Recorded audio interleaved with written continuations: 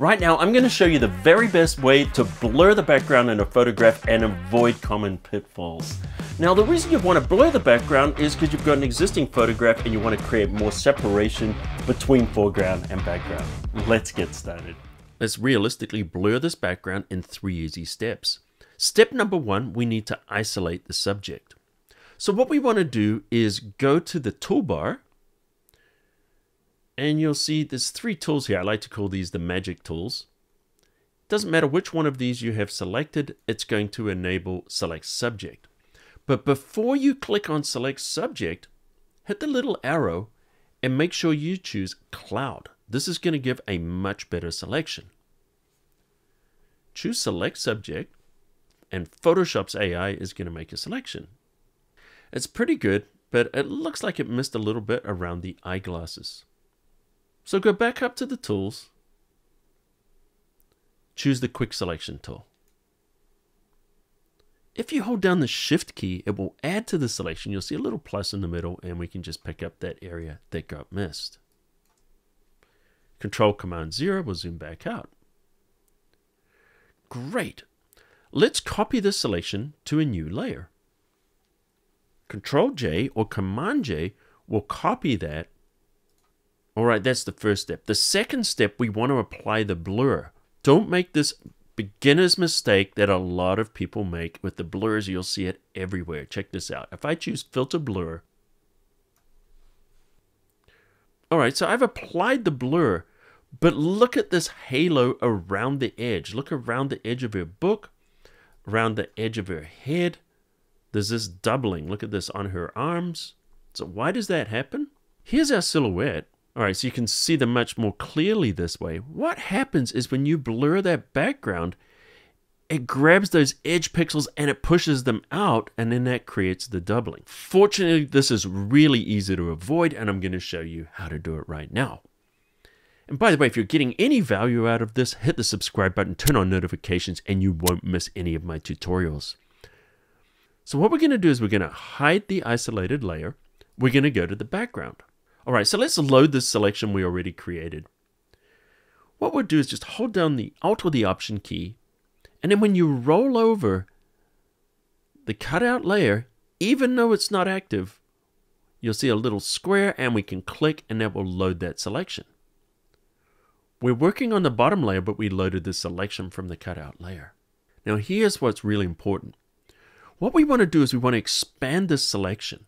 So we're going to choose Select, which has everything to do with selections, we want to modify the selection. What do we want to do? We want to expand. Why don't we expand by 8 pixels and choose OK?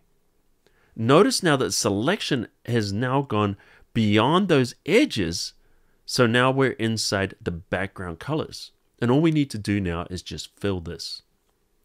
Shift Delete will bring up the Fill dialog box. Under Contents, you want to use Content Aware. And then click OK. Content Aware will use the pixels around the selection to fill in the selection. And that's looking pretty good. I'm going to hit Control or Command D to turn off the selection.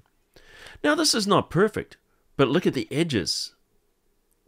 The contrast in those edges is gone and that's going to work beautifully for what we want.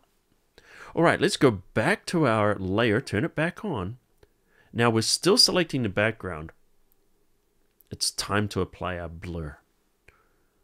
Choose filter. Now don't go to the blur as you would think. We actually want to go to the blur gallery and we're going to use field blur. All right, so here we are and you'll see a pin here. Why don't we increase the amount of blur? Now you'll notice it looks very artificial at the bottom. This is why we're using field blur. It's the ideal tool for this because we can create a blur that we can gradiate off. So what we want to do is go directly underneath here and create a second pin. So let's just click. Now what happens is this is going to create a transition between the two pins. Now we don't want any blur on the bottom pin. We could drag the blur slider to zero, or here's a faster way, hold down Command key or Control key on Windows, double click on the pin, and that will set that to zero. All right. Notice now we're getting a better blend here. Now let's go to the top pin. If we select the top pin, notice the blur is set to 74.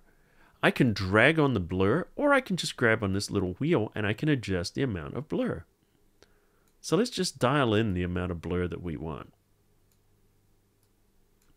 Maybe about there. Now if we bring these closer together, notice that this blur will happen very abruptly. If we pull it further away, we can have a more gradual blur. So what you're looking for is something that's going to be realistic. And about there is where it starts to blur. And I think we've got a more realistic looking result. Now let's just move over to the side here and we can adjust how much blur we want.